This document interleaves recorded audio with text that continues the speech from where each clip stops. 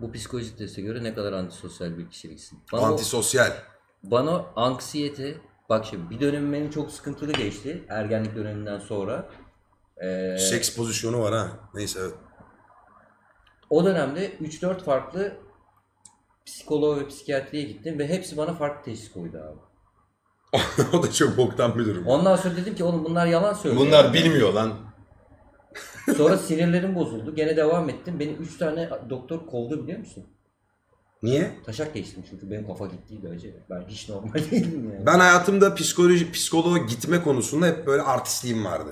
Ya kardeşim kişi kendinin doktorudur. Yok öyle bir Yok raddeye geliyorsun dur işte ki. onu anlatacağım. Ya abi bunlara boşu boşuna para veriyorsunuz. Psikologlar vardır bizim izleyenler şu an. Bana triggerlanmasınlar.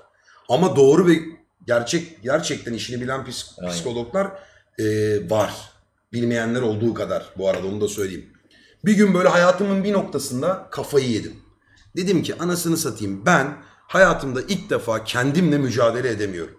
Psikoloğa mı gittin psikiyatriye mi? Psikoloğa gittim. Tamam. Ve dedim ki en yakın arkadaşımı arayıp. Hayatımın en kötü dönemlerinden biriydi. Biliyorum geçecek ama bir de, bir de desteğe ihtiyacım var. Çay iç çay. En yakın arkadaşımı aradım. Dedim ki Ronnie hatta. Ronnie'ye dedim ki oğlum benim desteğe ihtiyacım var. Ben mücadele edemiyorum. Kendime doktorluk yapamıyorum. Bunu ayıkmak bile büyük olay. Evet. Ve de bütün o donelerimi, tabularımı, ön yargılarımı yıktım. Güçsüz olmayı da seven bir adam değilim. Yalan yok. Güçsüz gözükmeyi de sevmem. Aradım. Roni kitlendi böyle. Oğlum bunu sen mi diyorsun lan falan dedi. Ki bu adamlar şey böyle psikoloğa düzenli giden. işte hani hayatın bir parçası olmalı. Paylaşmalısın. Farklı açılardan bakabilmeyi. Ha sektirin ya adam aman abi. 300 lira veriyorsunuz. Manyak mısınız falan. 300 liraya ben giderim kendime karınca alırım falan diyordum böyle. Özetle bana bir adamı yönlendirdiler. Bak buna git çok iyi olur. Gittim. Oturdum. Ee, ilk analiz yapacağız. Eline aldı kağıt kalemi. Anlat dedi. Arkadaşıma ne anlatıyorsam anlattım. Yazdı yazdı yazdı. Seans bitti amına koyayım. Valla aldı parayı. Gittim. Ne zaman dedim ikinciyi yapacağız? İşte de şu şu gün şu gün gel. Gittim. Din, dinliyorum seni dedi. Anlattı anlattı. Bu arada ünlü bir psikolog yani. Bilindik bir psikolog. Anlattım yazdı falan. Susuyorum artık. Diyorum ki yani bir yön ver pezevenk yani ne, ne anlatıyorum bunu babama da anlatırım ben yani. İkinciyi de yazdı yazdı. Birkaç tane yorum yapıyor. Benim de kurguladığım ve düşündüğüm. Hani bilirsin ya gerçeğin ne olduğunu. Geçeceğini bilirsin ama hep o dert seni yakar ya onun gibi düşün. Üçüncüye gittik. 3-5 yorum yaptı. Dedim "Ya korum şimdi izliyordur, biliyordur, tanıyordur bir şey olur. Sen Sikim. katarsisi biliyor musun? İzliyor musun? O ne lan? Bilmiyor musun katarsisi? Katarsis. Hı hı. Ne o? Chat biliyordur muhtemelen. Ben niye bilmiyorum? O adamı izlemelisin abi. YouTube'da. Katarsis'i kesinlikle bir takip et yani. Vallahi Ben- bilmiyorum.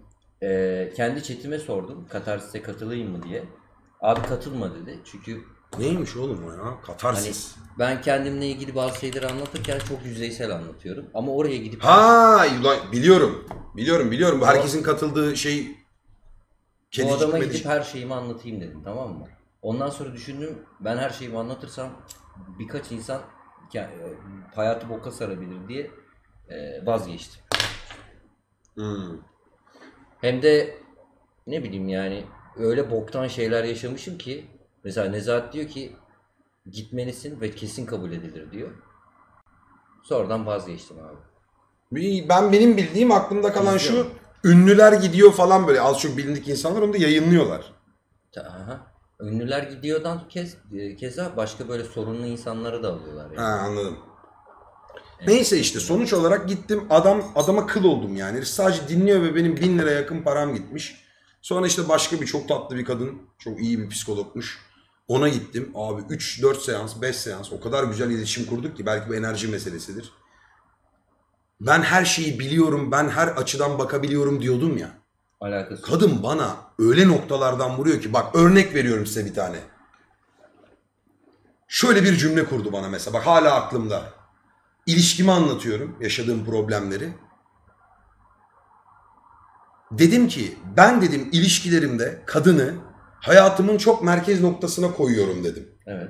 Ve asıl yapmam gereken önceliklerimi şaşırıyorum bazen dedim. Aynen. Onun derdi benim derdim oluyor ve benim aslında gerçekten dertlerim var çözmem gereken. Bunu yapmamak çok büyük mallık dedim.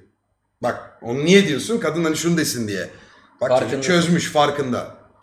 Böyle yapıyor mesela. Peki diyor belki de sen hayatın merkezinde olmak istiyorsundur diyor. Yani Onun da merkezine evet sen girmek kadının merkezinde olmak istiyorsundur belki diyor. Hiç o açıdan düşündün mü diyor. Aa. Error veriyorsun tamam mı böyle? Ha siktir acaba şu- kendini sorgulamaya başlıyorsun. Sen orada onun sorununu çözerek kendi egonu tatmin Evet. aslında. Yani kadın sana şunları vuruyor. Sen bunu bunu suçluyorsun ediyorsun ama belki de o duygunu tatmin ettirmek senin elinde diyor. Yani sen yapıyorsun belki bunu Ama kendin. baksana bir şey soracağım. Bir insan kendi iyiliği için, kendini boostlamak için başka insanları ezip kendi daha iyi bir noktaya geldiği için egosunu tatmin ediyor. Biz birine yardım edip onun bir yere geldiğini görünce kendi egomuzu tatmin. Doğru. Bence bizimki çok iyi abi. Bu da ne biliyor musun? Geçen gün biriyle daha konuştum. Ee, neydi o? Ne üçgeniydi psikolojide? Bak şimdi size onu anlatacağım. Ee, ne psikoloji üçgen kurtarıcı. Çıkar böyle. Drama üçgeni. Heh. Şimdi bak drama üçgeni diye bir şey var. Chat, Ama bilmiyorum ben. Bak bunu iyi dinleyin. Göstereceğim.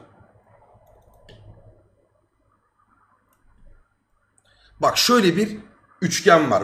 Bunu böyle çok detaylı bildiğim için falan söylemiyorum. Drama üçgeni yanlış tanımlayabilirim. Psikoloji bilenler sıçtım falan demesin. Sadece e, bildiğim için söylüyorum. Böyle daha iyi. Çocuk çocuğu anlatır. Evet. anlatacak. Şimdi bak kurban, suçlayıcı, kurtarıcı diyor. Tamam mı?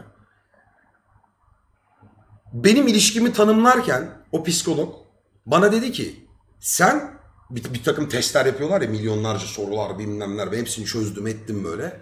Ve hep farklı tuzak sorularla soruyorlar ve o kadın onun bir özetlemesini çıkartıyor ve senin e, karakterini mi tanımlıyor artık psikolojini mi tanımlıyor bilmiyorum.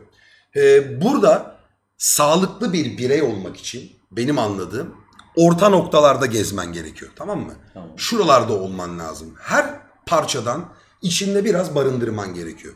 Şimdi benim benim analizimde, kadının benim üzerimde yaptığı analizde ben şu kurtarıcıya yapışmışım. Bak çok net söylüyorum. Kurtarıcı ve hatta biraz da suçlayıcıya kayıktım. Kurban kesinlikle değilim. Kurban dediği ne biliyor musun? Sürekli sorunlarını karşı tarafa yansıtan, sürekli mağdur olduğunu ve sürekli ve insan. sürekli kurtarıcı arayan insan tipi. Evet.